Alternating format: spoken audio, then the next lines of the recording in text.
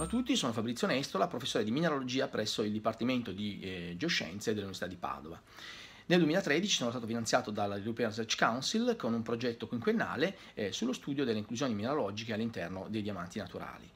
Eh, oggi vi voglio parlare dell'ultima scoperta che abbiamo fatto e che è stata pubblicata su Science ed ha ricevuto anche la copertina. In particolare vi voglio parlare di diamanti supergiganti, quelli come ad esempio il Cullinan, diamanti da 3000 carati, o come la Stella del Sud, come questo, questa è una, una replica che abbiamo al Museo di Mineralogia, 130 carati, perché questi diamanti sono stati fino ad oggi assolutamente enigmatici, in quanto i possessori non avevano mai permesso di studiarli dal punto di vista scientifico. Grazie alla collaborazione con il Gemological Institution of America e eh, il dottor Evan Smith abbiamo avuto la possibilità di studiare alcuni frammenti di diamanti molto importanti e attraverso l'utilizzo della nostra strumentazione qui a Padova acquistata con l'IRC abbiamo potuto studiare delle inclusioni molto piccole all'interno di diamanti estremamente grandi.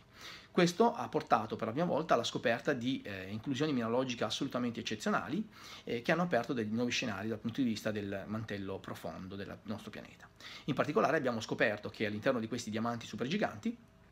eh, vi sono delle inclusioni di ferro-nickel, eh, carburi di ferro, solfuri di ferro e che queste inclusioni sono completamente circondati da un fluido di metano e idrogeno.